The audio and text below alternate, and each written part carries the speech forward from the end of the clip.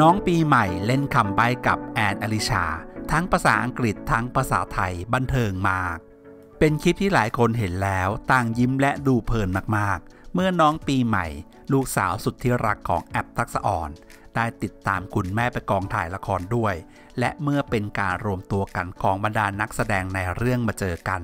ก่อนจะเข้าฉากทำการแสดง ก็ต้องมีเกมสันทนาการเพื่อสร้างบรรยากาศให้ครื้นเครง และในกองถ่ายละคร สงครามสมรสในวันนั้น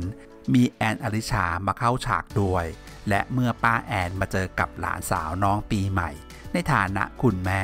ที่มีลูกสาวบอกเลยว่า เคมีเข้ากันดีสุดๆ ทั้งสองเล่นใบ้คำกัน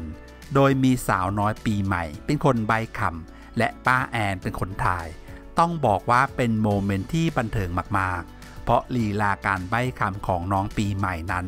ตั้งใจสุดๆ พูดคำใบทั้งภาษาอังกฤษและภาษาไทยแบบที่ ทุกคนฟังแล้ว ต่างฟังเพลินและยิ้มตามจริงๆ ส่วนป้าแอนนั้นหลังจากฟังคำใบ้ของน้องปีใหม่ด้วยสกินในการถ่ายและความรวดเร็วคำตอบที่ถูกต้องไม่เกินจริง เป็นภาพที่เห็นแล้ว ต่างอยากไปร่วมอยู่ในวงใกล้ๆเลย